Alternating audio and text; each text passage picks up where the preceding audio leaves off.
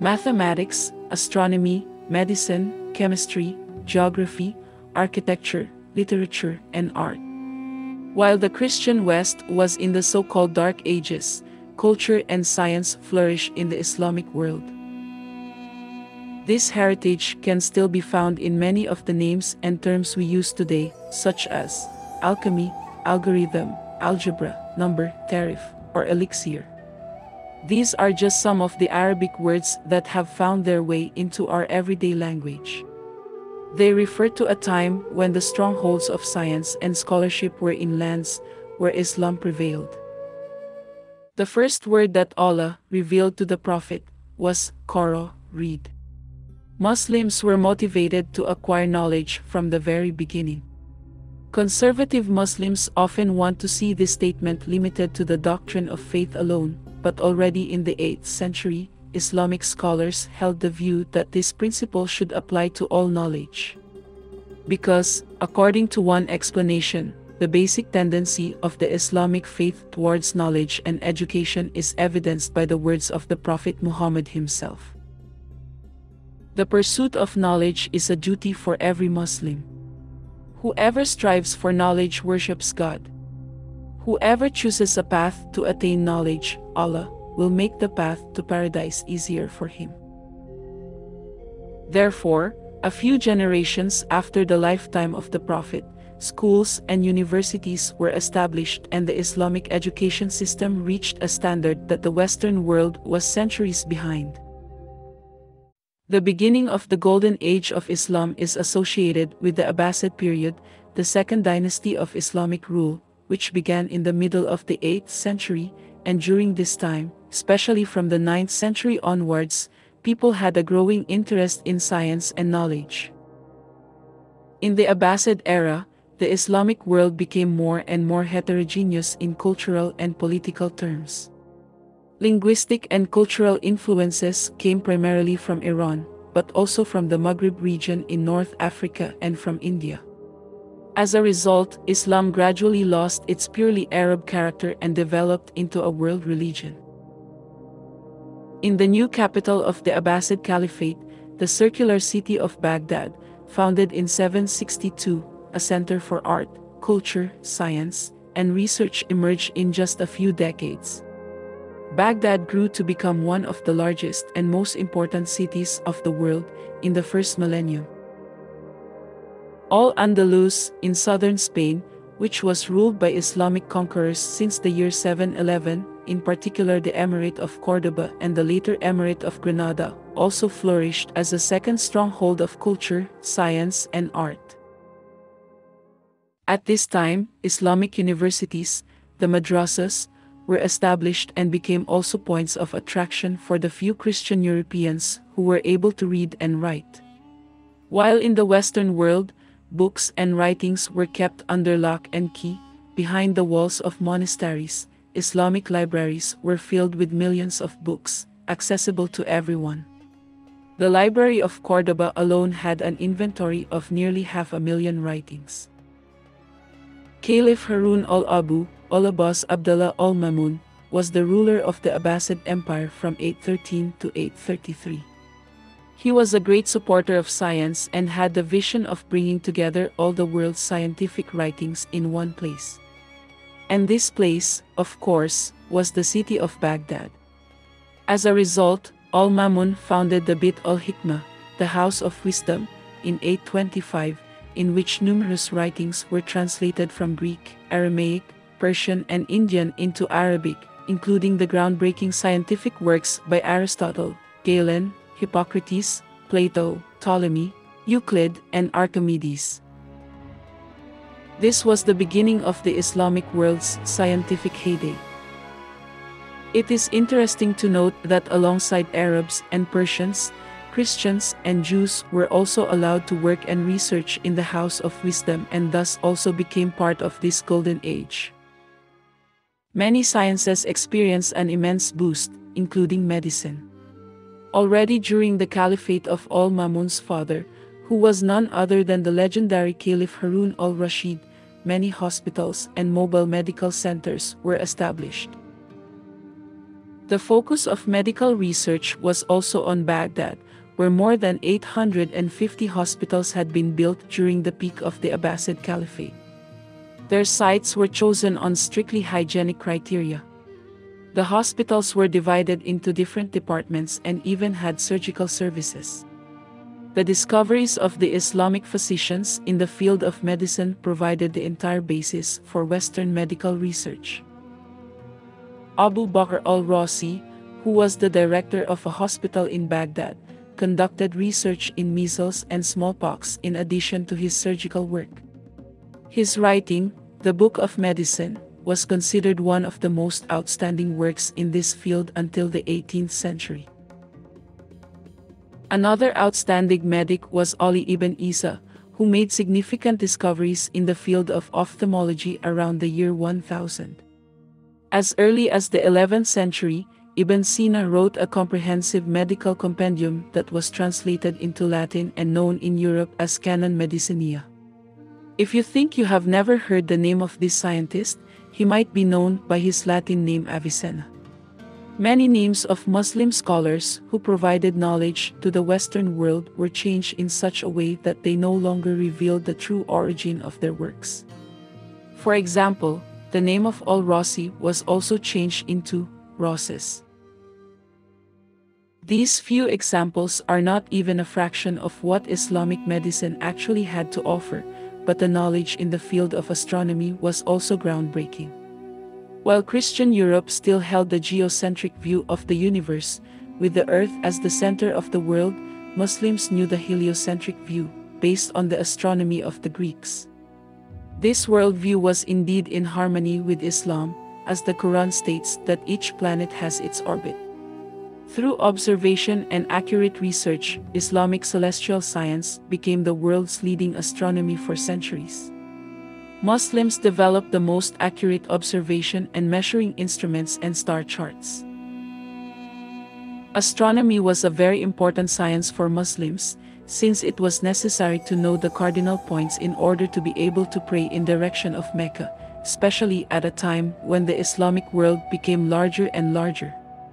Astronomical discoveries were so many that they can hardly be enumerated. Other religious practices also required mathematical and astronomical studies. For example, it was necessary to define the exact beginning and end of day and night in order to determine the times for prayer. Precise calendar studies were necessary to define the exact beginning of the fasting month of Ramadan. It was mainly during this heyday of Islamic scholarship that scientists developed systematic methods of experimentation and observation, which were only applied in Europe centuries later. They wrote commentaries on translations from other languages and, like the scholar al-Biruni, also directed their interest in knowledge towards India. In the 10th century, Islam stretched from Spain through North Africa and the Middle East to the Indian frontier. Islamic scholars took the knowledge from all these cultural areas and put it together. In the process, the knowledge of the ancient Greeks, Indians, and Iranians became intertwined. From Chinese captives of war, the Muslims also learned how to make paper and thus the best conditions were created for noting down and further developing all the knowledge available at the time. About two centuries after the exodus of the Prophet Muhammad from Mecca to Medina in 622, an intellectual climate developed in Islam that was particularly conducive to the study of astronomy, mathematics, and medicine. Incidentally, the year 622 is the beginning of the Islamic calendar, according to which people still live in Islamic countries today. Islam has some requirements for performing prayers, which can be solved only with the help of astronomy, and that is why the research was advanced. Great importance was given to the moment when the extremely narrow crescent of the new moon was first visible in the western evening sky. This was the exact moment when the new month was proclaimed. It is not without reason that the crescent of the moon became the symbol of Islam. In order to predict the appearance of the new moon, careful calculations and observations were necessary. Another requirement was the direction of prayer, the Qibla, because Muslims always perform their prayers towards the Kaaba, in the city of Mecca, no matter where they are. In the same way, mosques are also oriented in the same direction. Long before the invention of the compass, this required precise knowledge of geography, the distances between cities and their location, which could be expressed in degrees of longitude and latitude. However, in order to be able to lay a measuring grid over the Earth, it was necessary to know how big the globe is. This task was to be solved by land surveys and astronomical measurements. And so, the Muslims developed cartography and new methods of land measurement. Islamic scholars were able to calculate the radius and circumference of the Earth globe just as precisely as the Greek mathematician Eratosthenes did around 200 BC. The correct times must be determined for the daily prayers. The call to prayer, the Adhan, is proclaimed at sunrise, at noon, in the afternoon, at sunset, and in the evening. Since the days are not of equal length throughout the year, there are no fixed times for them. This required close observation of the movement of the sun to determine its rising and setting times and its highest point. It only was possible through extensive and accurate observations and calculations. The methods transmitted by the Greeks were not sufficient. They were further developed and improved in Islamic times. The Muslims also adopted observation instruments such as the astrolabe from the Greeks. An astrolabe, which is also known as planisphere, is an instrument to simplify astronomical calculations and time determination. It is basically a two-dimensional model of the sky, consisting of several brass discs in a frame that can be rotated against each other. Various lines and coordinates are engraved on the brass discs, but also the most important stars are recorded. Islamic scientists not only copied the astrolabe from the Greeks, but they also improved it and translated the star names, which Ptolemy had fixed in his Almagest, into Arabic. These names were later preserved when they were translated back into Latin, which is why the most important stars still bear Arabic names today. Star names as Aldebaran, Hamal, Altair, Rigel, Sadalmelik, and many others, as well as the terms Zenith and Nadir, came from Arabic. Even if most of these names and terms appear very alienated today due to repeated mistranslations. One of the most important astronomers was Muhammad ibn Jabir al-Battani, Latinized Albatenius. He lived around the year 900 and preserved the works of Ptolemy, in which he determined, among other things, the inclination of the ecliptic and the equinox. The Abbasid Golden Age even allowed a woman to work in scientific fields in the male-dominated Islamic world. Maryam al-Astrolabi, who lived in the 10th century, came from Aleppo, in present-day Syria. She manufactured astrolabes and is the only woman mentioned in the Kitab al-Fihrist, a compendium of the knowledge and literature of 10th century Islam, compiled by Ibn al-Nadim.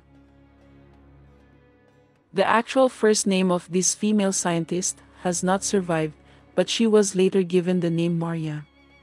However, it is known that she was engaged at the court of Saif ad-Dawla and practiced her profession there, which she had taken over from her father. One of the most outstanding astronomers was Muhammad ibn Musa, also known as al-Khwarizmi, who is mainly remembered as the founder of algebra and is considered the most important mathematician of his time. Even the terms algebra and algorithm are derived from his name.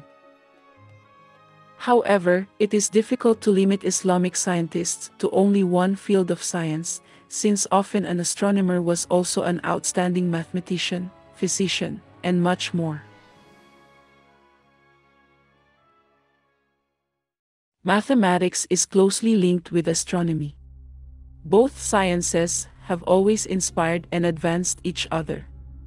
And here, too, Islamic scholars have provided invaluable services.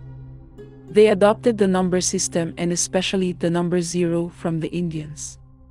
With zero it was much easier to calculate. The Indo-Arabic number system replaced Roman numerals in the West and is still used all over the world today. Through translations of Arabic scripts into Latin, the new decimal notation came to Europe and was immediately and very gladly adopted by mathematicians, because the calculation was much easier than with the previously used Roman numerals. We all use the Arabic numerals today, even though they have changed a bit over the centuries. There was no scientific field into which people did not advance under Islamic supremacy.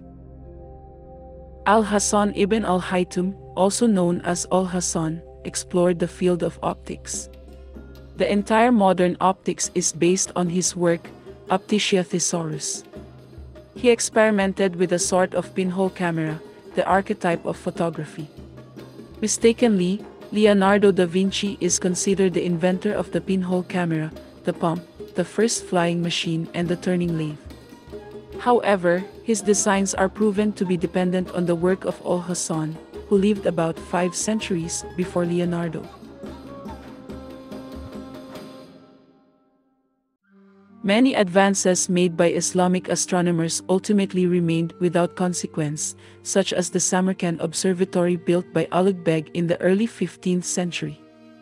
As the best of its time, it was dismantled after only one generation by Ulugh Beg's successors and left to decay.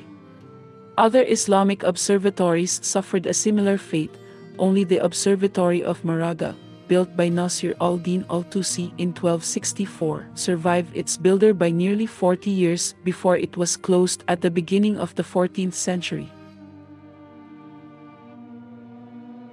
Although the Islamic astronomers recognized the errors of the ancient theories and improved them, their most important achievement from today's point of view was nevertheless the preservation, translation, and partial expansion of ancient natural science which European culture was hardly able to do during the early Middle Ages. With the end of the Golden Age of Islam, however, Islamic astronomy was hardly able to give any impulse to European astronomy, and its achievements were finally overtaken by the European Renaissance and fell into oblivion. The level of development of Islamic astronomy is also exemplary for the astronomy of other cultures, which reached a similar level, but could not develop beyond it, also without telescopes. Particularly worth mentioning are the Indian or Vedic astronomy, the Chinese and the pre-Columbian astronomy of the Native American high cultures. All of these cultures possessed observational knowledge accumulated over many centuries that could be used to predict the periodic phenomena of the planetary system. But why did the scientific golden age of Islam come to an end, and why did they fall behind Western countries in terms of science? There are many reasons for this, but first let's look at what mindset is needed to encourage science. And also, how science, religion and philosophy are connected. This is best reflected in the example of astronomy, the oldest of all natural sciences. One early motivation for observing the skies was certainly of a practical nature. The periodic movements of the celestial bodies were used for chronological and geographical orientation, for navigation, for the making of calendars, for the division of the seasons, of fertile and infertile periods, for the observance of the cycles of nature on which human life depended. This is where the empirical astronomy has its origins. At the same time, however, the invariable recurrence of celestial bodies in the sky seemed to reveal the seat of the gods and eternal powers, influencing the cycles of nature and human life. This is where religion and myth originated. The question about the world as a totality, the cosmos, its beginning, its creation, its ending, is at the same time the question about the position of the human being in the universe, its past and its future. Since the beginnings of human cultural history, people have been studying the cosmos, physicists, astronomers, and philosophers, but also shamans, priests, and theologians. According to a widespread principle of the 19th century, myth and religion were overcome by science. Auguste Comte taught a linear history of the progress of human culture in three stages, according to which the theological and mythological prehistory was followed by the metaphysical age, and finally, by the scientific age. As a result, for some people in modern times, natural science has taken on the role of a substitute for religion, in which scientists are supposed to decipher the ultimate questions of mankind, instead of shamans, priests, rabbis, and imams. This is where philosophy comes into play, whose important task is to distinguish conceptually and methodologically between these different approaches. Science, religion, and myth are each different ways of looking at the world with different methods and goals, which must be kept apart in order to avoid contradictions and speculation, but which are nevertheless related and can give each other food for thought. However, there are worldviews and forms of society which reject this mutual enrichment, as they reject everything except religion. Today, this also applies to a large part of the Islamic world, and this view has its origins in a series of catastrophic historical setbacks that Muslims have had to endure. Many Muslims see the causes as basically not self-inflicted. To this day, Outside of small circles in the Islamic world, there has hardly been any further, self-critical debate about the reasons for its own stagnation. In historical memory, idealized glorious times and conquests in the name of Islam stand alongside and before the heinous attacks by Christians, from the Crusades to the colonialism of more recent history. These events are remembered as humiliations. However, according to many historians, the decline of Islam did not begin with the Crusades. Although the wars with the Christian West certainly contributed to this, they were not the only cause of the downfall. However, one of these events was definitely caused by the Europeans. The reconquest of Spain, which was occupied by the Muslims since the age of the Umayyads, led to the destruction of Cordoba in 1236 and thus destroying one of the two cultural centers of Islam. Cordoba was probably the most progressive city on the European continent at the time. It already had a sewage system and street lighting.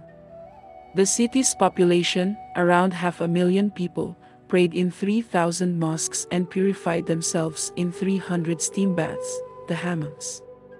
Cordoba, Seville, and Granada were famous for their universities, where philosophy, law, literature, mathematics, medicine, astronomy, history, and geography were taught. The power and prosperity of Islamic Spain reached its peak in the 10th century. The central state then fell apart as a result of internal disputes. In 1085, the Christian Reconquista achieved its first major victory with the fall of Toledo. At the end of 1491, the last Muslim ruler in Al-Andalus capitulated to the armies of the Castilian monarchs Ferdinand and Isabella, and surrendered the city without fighting, in January 1492. This put an end to Islamic supremacy in Spain. Thereafter, a struggle against Islamic culture began, which reached a tragic peak in 1499 when Cardinal Francisco Jimenez de Cisneros had 80,000 Arabic books burned in Granada. Another catastrophic event took place already more than 200 years earlier, in 1258, when Baghdad, the most important cultural center of Islam, was destroyed by the Mongols. The House of Wisdom, which contained countless valuable historical documents on subjects ranging from medicine to astronomy, was destroyed. Survivors reported that the water of the Tigris was black from the ink. All other libraries in the city were also burned, as were mosques, palaces, and hospitals. Scholars, scientists, and philosophers were not spared. Citizens who tried to flee were intercepted and killed by the Mongol invaders. The number of victims is estimated at almost 90,000. The caliph was captured and had to watch as his citizens were killed and his treasures plundered, before he too was massacred. The Muslims, who had constantly expanded their territory, suddenly felt helpless due to the superiority of the Mongols. This feeling of powerlessness contradicted the Quran statement in Surah 3, Ayah 110, where it says, You are the best community brought forth for the good of mankind. Many of the Muslim scholars saw the political changes as a punishment from Allah for having strayed too far from the spirit of Islam. They believed that salvation could only come through a return to the genuine and true Islam. To do this, Muslims would only have to follow the traditional values and the way of life of previous generations, as they already possessed all the knowledge, since they were much closer to the time of the Prophet. Thus, the scholars oriented themselves more and more towards the past. Over a century earlier, an important theologian of Islam, Al-Ghazali, already discredited the study of philosophy and science because it led away from the true faith. He attempted to prove through epistemological arguments that philosophy alone could not comprehend God. This mindset was not a purely Islamic characteristic either. There have always been similar tendencies in the Christian West, for example following the statements of Saint Augustine, who said that faith precedes knowledge. The supposedly dark Christian Middle Ages are also due to the fact that the Church long dismissed many scientific findings as heresy.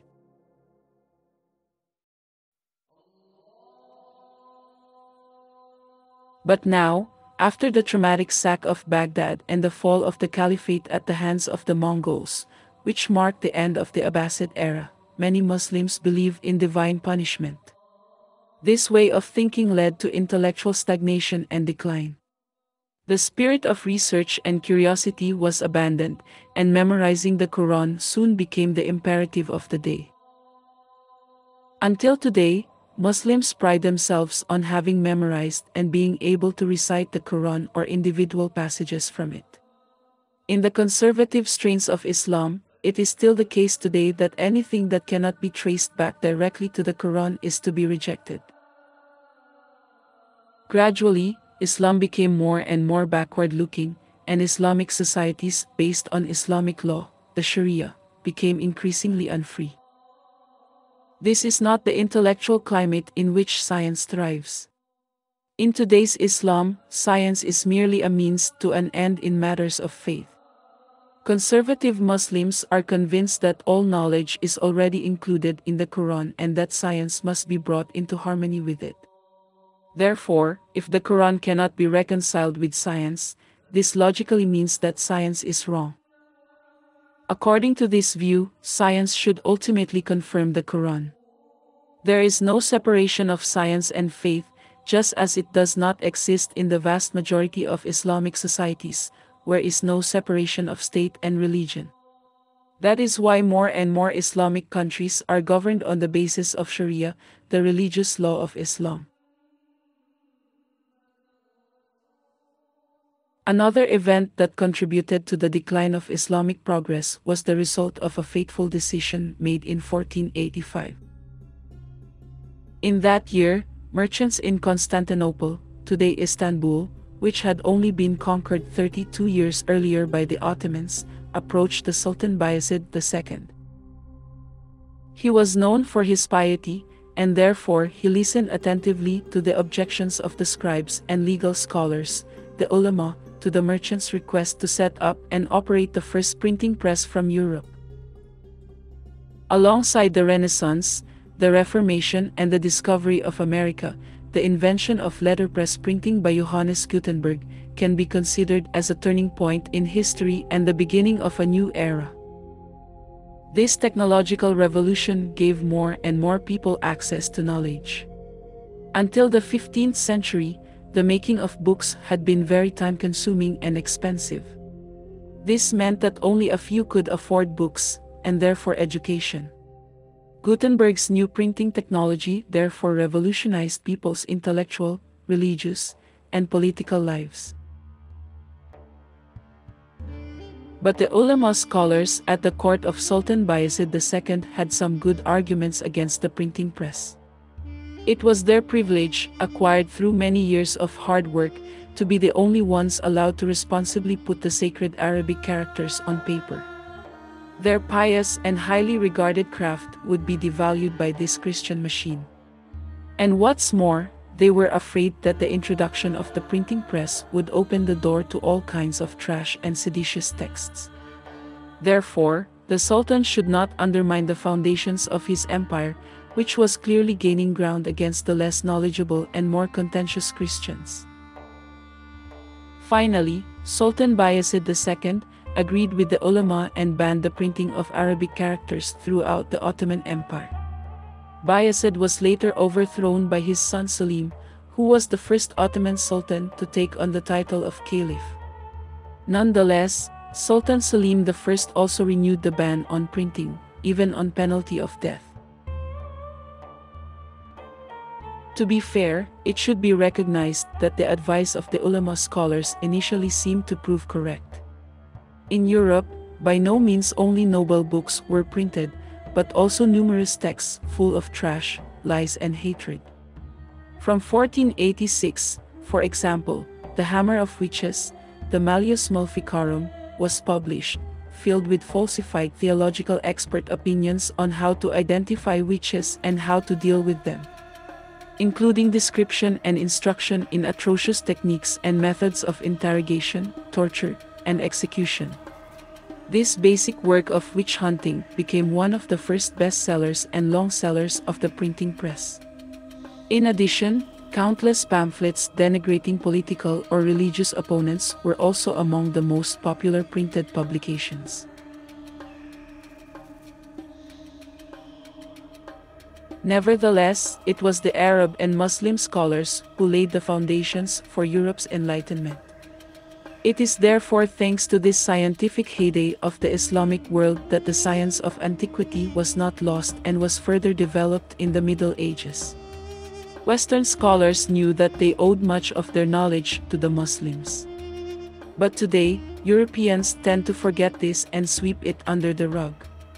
To this day, the knowledge of the Greeks, Persians, and Arabs forms the basis of modern science.